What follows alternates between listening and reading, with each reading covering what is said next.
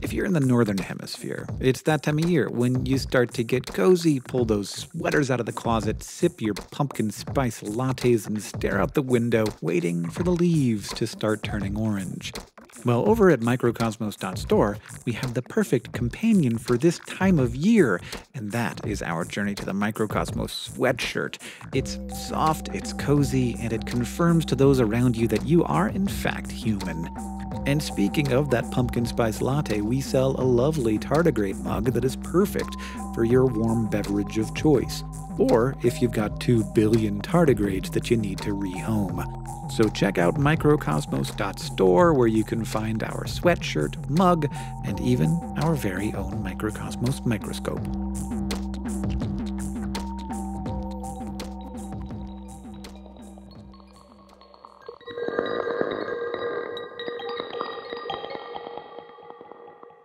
James, our master of microscopes, is always on the hunt for rare ciliates that live in areas low in oxygen.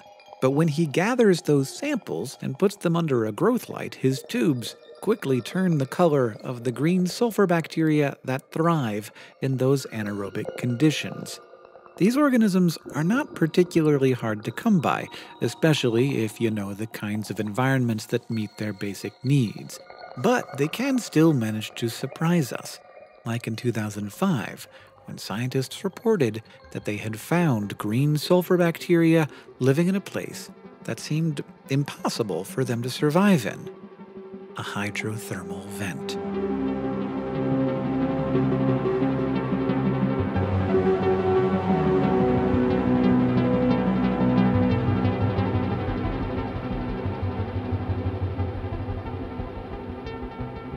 Now, it doesn't sound particularly comfortable to me, but life around a hydrothermal vent is not impossible.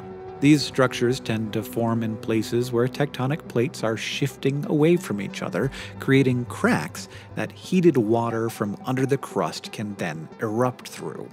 And despite the incredible heat within the vent and the lack of light around it, there is life, an ecosystem built in part on bacteria that are able to turn chemicals from the vent into food.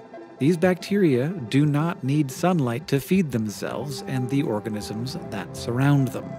But green sulfur bacteria are not like those chemosynthetic residents that we know to expect in hydrothermal vents. Green sulfur bacteria rely entirely on photosynthesis for their food needs, which means they need light. Now, to understand the secrets behind the green sulfur bacteria's deep sea survival, let's start by talking about what a green sulfur bacteria even is. These bacteria are known more formally as the family Chlorobiaceae, and their distinguishing feature is that they abhor oxygen. To power their photosynthesis, they rely on reduced sulfur instead, which means that green sulfur bacteria prefer to live in areas of water deep enough to favor sulfur over oxygen, but still allow enough light for the bacteria to create their food. Most green sulfur species cannot swim, which is why they're so still in our footage. There are a few species that have vacuoles that can fill or release gas to help them move up or down the water column, but overall, they're not really movers. And you also may have noticed that not all of the bacteria in our footage is green, and that some of them are in fact purple. At times, they're quite a contrast to the green sulfur bacteria, not just because of their color, but because they are able to swim around. These purple neighbors do share one common trait with green sulfur bacteria, though. They also use sulfur to carry out photosynthesis, and so they are known as, wait for it, purple sulfur bacteria.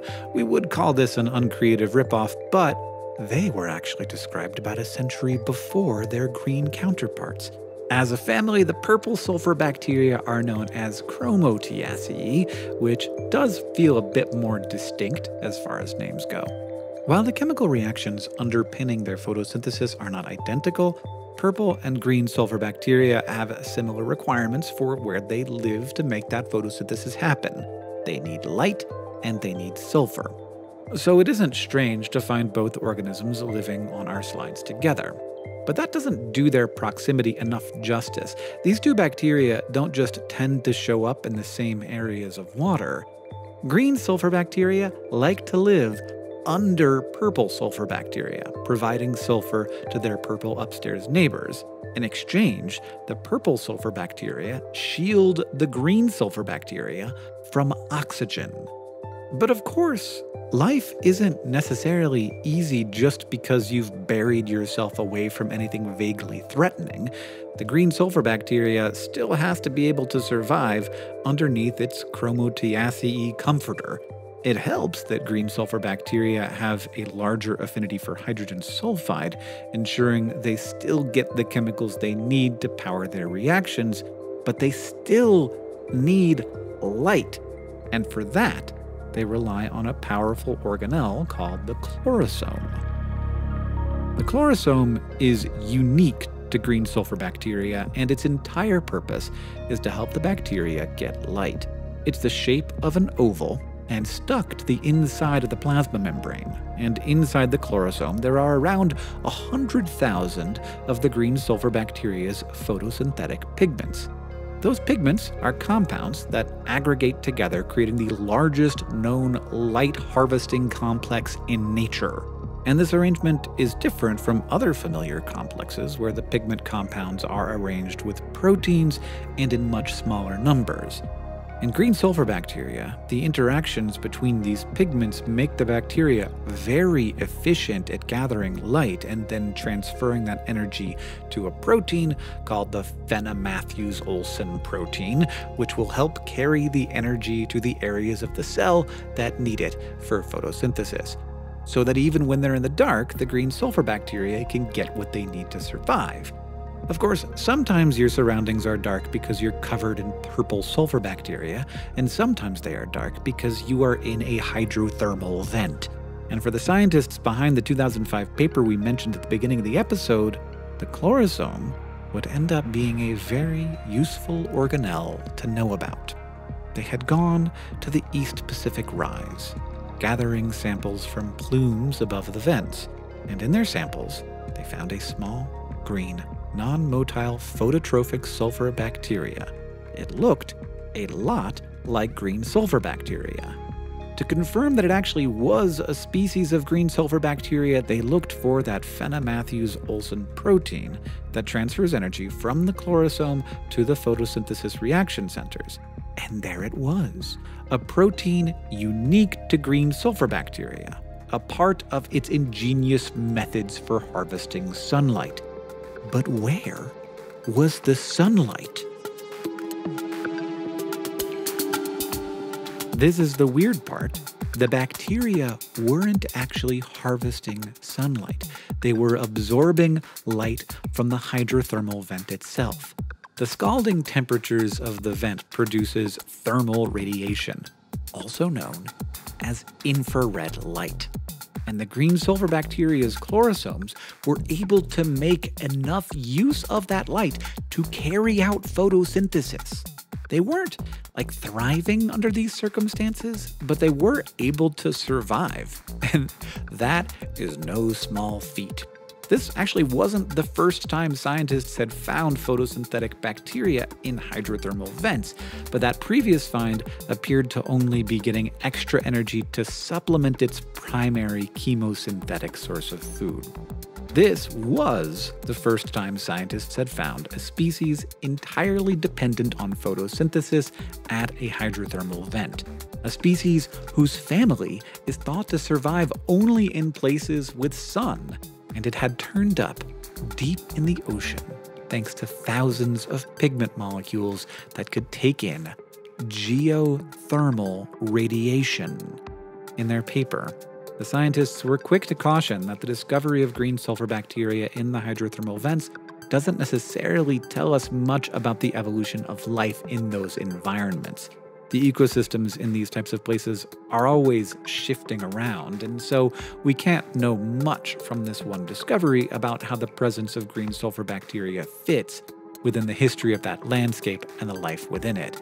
But even if it can't tell us the entirety of the area's past, the discovery of green sulfur bacteria in a hydrothermal vent shows us just how broad nature can be in applying the structures it creates, transforming an ancient process whose requirements we thought we understood to something entirely different.